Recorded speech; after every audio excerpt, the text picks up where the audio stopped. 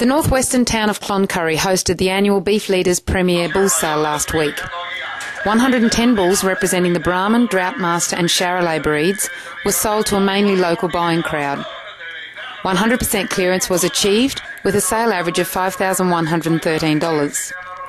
A top of 17,000 was reached twice for both a Palgrove Charolais and a Lancefield Brahman sire. Studs selling at the sale included Palgrove Charolais stud, Rondel Droughtmasters, and Lancefield and Tartrus Brahman studs.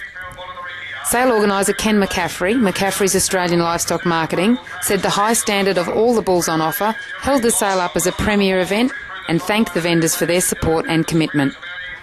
For a full sale report, see Queensland Country Life on the 13th of September 2012.